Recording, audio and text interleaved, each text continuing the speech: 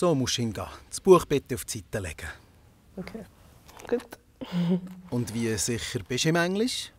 Ja, ich war schon nicht so gut. Gewesen. Ich bin aber ein bisschen besser geworden, darum bin ich gespannt, wie es nachher Das sehen wir ja jetzt. Kannst du mir sagen, was Zelteln auf Englisch heisst? Camping, Was ist die Grundform? to camp. Richtig, erster Punkt. Was heisst, es macht ihm nichts aus? He doesn't, doesn't care. Ja, aber das ist nicht das, was ich hören will. He don't worry. Nein, Ich kann es wirklich nicht sagen.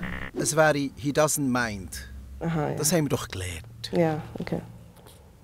Kannst du mir zwei andere Worte für «garbage» sagen? Ähm, Trash. Waste.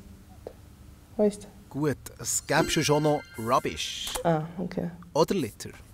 Habe ich auch mal gelernt, ja. Übersetzt, Wasser bedeckt mehr als zwei Drittel der Welt. Wasser bedeckt. Ähm, water covers more than two. Äh, ja. Äh, Jetzt noch der ganze Satz. Komm, hopp. two thirds of the world. Richtig, es geht ja. Was ist das Gegenteil von safe? Unsafe. Nein, so einfach ist es nicht. In danger.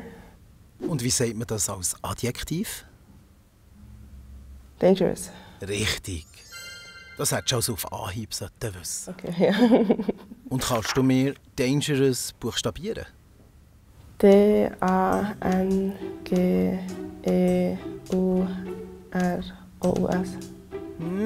E. D-A-N. Äh, D-A-N-G-E-R-O-U-S. Gerade noch gerettet. beim zweiten Anlauf. Das ist noch schwierig, wenn es nicht aufgeschrieben ist. Ja. Was heisst Schlamm auf Englisch? Ähm, Dirt. Nein, das wäre Dreck. Schlamm. Ist es nicht? Es wäre Mud. Matt, okay.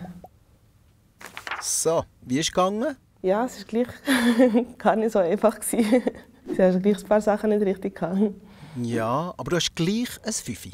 Ah, okay. Sehr gut.